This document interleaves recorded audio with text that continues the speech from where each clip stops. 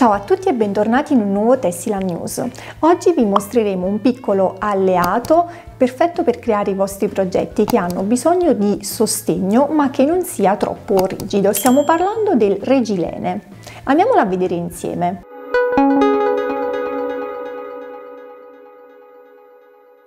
Eccolo qui il nastro in regilene, un nastro in poliestere molto flessibile che non si spezza ma al contempo molto resistente. Verrà venduto in unità da un metro.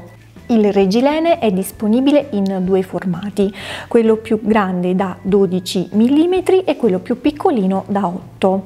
Disponibile anche nella colorazione bianco. La flessibilità ma allo stesso tempo la grande resistenza di questo nastro permetterà di utilizzarlo per numerosi scopi come ad esempio irrigidire dei eh, cappelli, creare dei corsetti o, degli abitini da ballo ad esempio.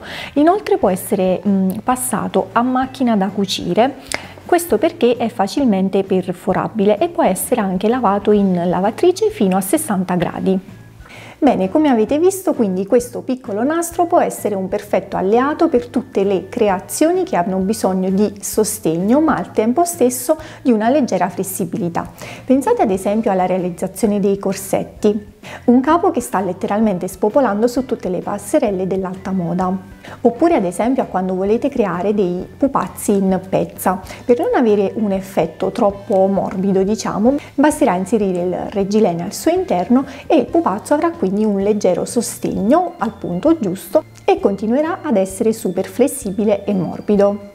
Altro utilizzo molto frequente è quello per la creazione di accessori come i cappelli con tesa larga oppure per dare un leggero sostegno alle borse.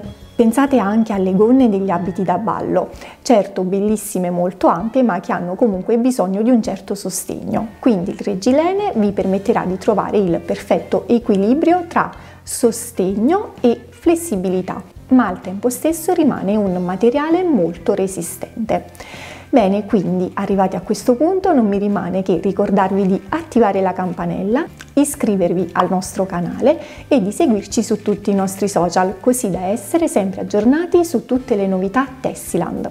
Quindi vi ricordo la pagina Facebook Meglio di Maglia e i nostri canali Instagram, TikTok, Pinterest e il nostro blog. Al prossimo Tessiland News!